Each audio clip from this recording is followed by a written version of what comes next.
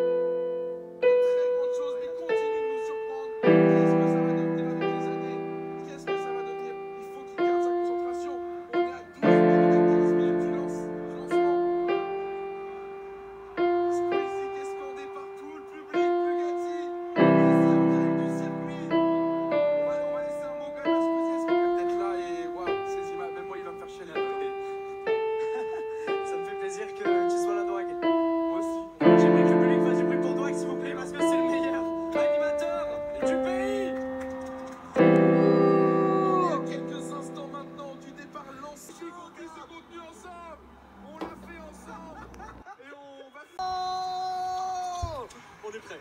Les amis, on est. C'est parti Let's go Et regardez Etienne qui essaie de, de grappiller des places. Sylvain De l'autre côté, qu'est-ce qui va se passer C'est qui n'a pas pu En éviter première Exari. Et ça, devant un... Il va défendre. Allez Victoire Qui va gagner. Le Victoire. pleureur Victoire et on voit son coéquipier sur NordVPN Pierre qui salue Qui salue Or Qui salue très très fort Sylvain Bravo Sylvain Bravo Despiello Bravo Sylvain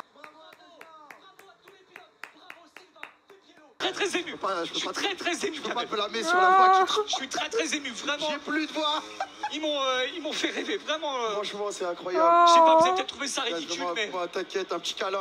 Ah merci, merci Kamel, Il c'est- a les larmes, Yann, ici. c'est incroyable ce qu'on a vécu, vraiment, et je... Franchement, on a je kiffé là. un maximum. J'espère que vous avez kiffé un maximum. J'ai rajouté beaucoup de choses avec les gens qui étaient vraiment dans le bail, mais à fond. Le chat, un million de personnes. Un million de personnes. C'est